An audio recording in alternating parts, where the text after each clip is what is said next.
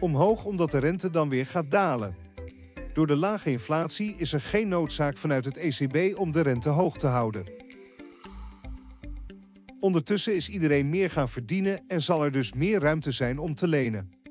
Binnen drie à vier jaar liggen de huizenprijzen weer 6 tot 15 procent boven het huidige niveau. De Nederlandse huizenmarkt zal veerkracht laten zien. Waarom? Omdat er een groot woningtekort en krapte op de arbeidsmarkt is. De huidige koophuisbezitters hebben de lage rente van kort geleden voor lange tijd vastgezet en hebben geen verkoopnood. Een crash van de koophuizen is niet snel te verwachten. Juist door onzekerheden en onrust gaan veel huizeneigenaars gewoon blijven zitten en zullen er nog minder huizen te koop aangeboden worden. In 2023 blijft nieuwbouw volledig achter vanwege materialen schaarste.